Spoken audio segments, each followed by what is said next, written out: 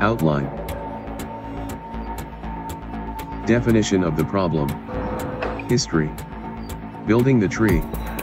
Implementation. Algorithm. Example. Runtime analysis.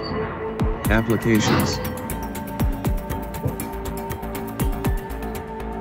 Encoding and compression of data. Fax machines. ASCII. Variations on ASCII. Min number of bits needed. Cost of savings. Patterns. Modifications.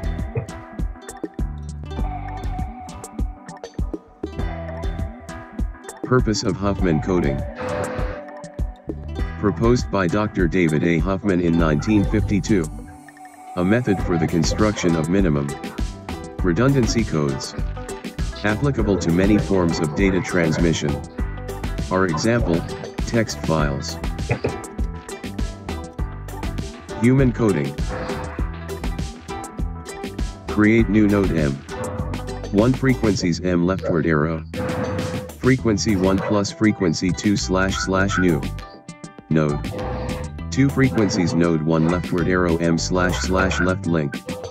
3 frequencies node 2 leftward arrow M slash slash right link. 4 insert in PQ. M, frequency 1 plus frequency 2. As an example, let's take the string. Duke Blue Devils.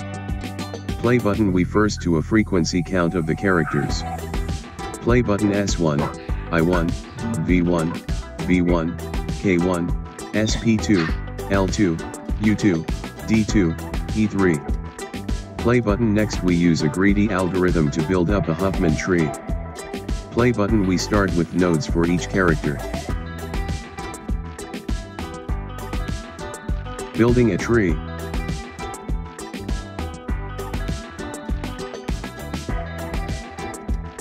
Continue. Continue. Continue.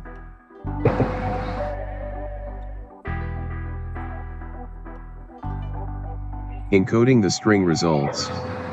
Play button These codes are then used to encode the string.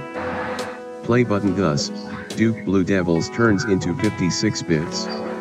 010, 011, 111000 100 and Play button ASCII will take 128 bit. H if modified code used 4 bits per character are needed. Total bits 4 4 asterisk 16 equals 64. Savings not as great. Play button thus it takes 7 bytes of space compared to 16. Characters asterisk 1 byte slash char equals 16 bytes uncompressed. Play button total save equals 128-56 equals 72. Running time. Time efficiency of building the Huffman tree. The insert and delete operations each take log, n, time, and they are repeated at most 2 n times. Therefore the runtime is O, 2 n log n, equals O, n log n.